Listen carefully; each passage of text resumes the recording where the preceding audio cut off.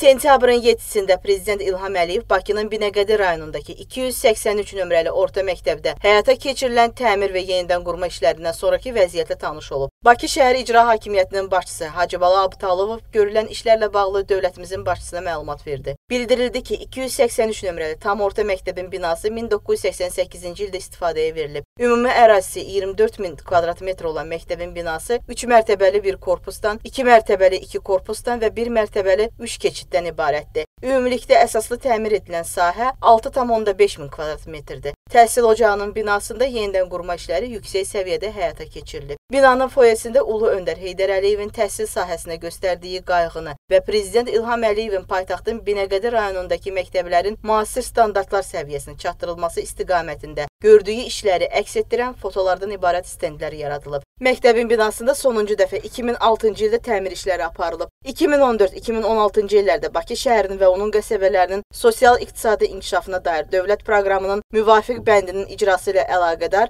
məktəb binasının əsaslı təmir işlərinə 2015-ci il iyunun 1-dən başlanılıb. Burada kommunikasiya, elektrik, su kanalizasiya, istilik xətləri yenilənib. Binada 62 sinif otağı var. Burada Azərbaycan və Rus bölmələrində 1200 şagird təhsil alır. Onların təlim-tərbiyəsi ilə 160 müəllim məşğul olur. 2014-2015-ci tədris ilində məktəbi bitirən 64 məzundan 47-si respublikanın ali məktəblərinə qəbul olunub ki, bunlardan da 7-si 600-dən yuxarı bal toplayıb. Məktəbin idman zalı da müasir səviyyədədir. Burada eyni zamanda 2 futbol və 1 voleybol meydançası da şagirdlərin ixtiyarına veriləcək. Bütün sosial sahələrdə olduğu kimi təhsil müəssisələrinin əsaslı şəkildə yenidən qurulması, yeni məktəb binalarının, uşaq bağçalarının inşası prosesinin məqsədi yönlü şəkildə həyata keçirilməsi təhsil sahəsinin ən müasir tələblər səviyyəsinə çatdırılmasına geniş imkanlar yaradır.